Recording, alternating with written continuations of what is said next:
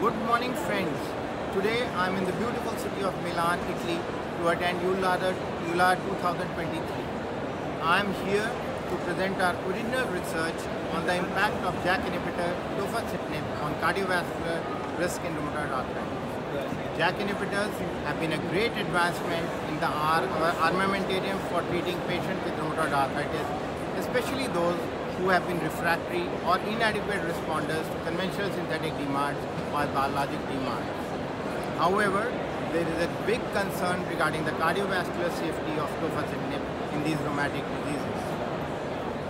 You might be aware that cardiovascular disease is the leading cause of morbidity and mortality in diseases like rheumatoid arthritis, psoriatic arthritis, and ankylosing spondylitis. Ever since the publication of surveillance data there has been a great concern regarding the cardiovascular safety of tofacitinib in rheumatoid arthritis patients. And this is not without a reason. However, the exact mechanism for this excess CV risk with tofacitinib is not known. So here is what we did. We randomized 81 patients, consecutive patients of rheumatoid arthritis to receive, to receive tofacitinib or a placebo in addition to their ongoing conventional synthetic DMARD. All these patients were devoid of cardiovascular risk factors or underlying cardiovascular disease.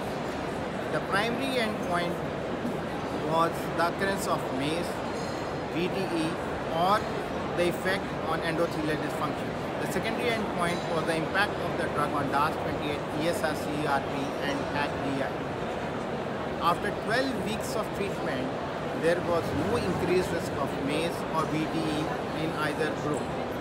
However, there was a big improvement in the endothelial dysfunction estimated by using the flow-mediated dilatation in patients who received tofacitinib as compared to the placebo. Also, in that tofacitinib arm, there was great improvement in ESR, CRP, DAS 28.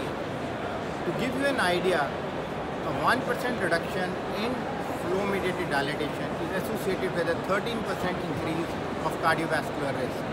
In our study, there was a 29% improvement in flow-mediated dilatation after 12 weeks of therapy with tofacitinib in patients who had failed conventional synthetic DMARD. Hence, what we found that tofacitinib is cardioprotective and vasculoprotective and does well in patients who have been refracted to standard therapies in rheumatoid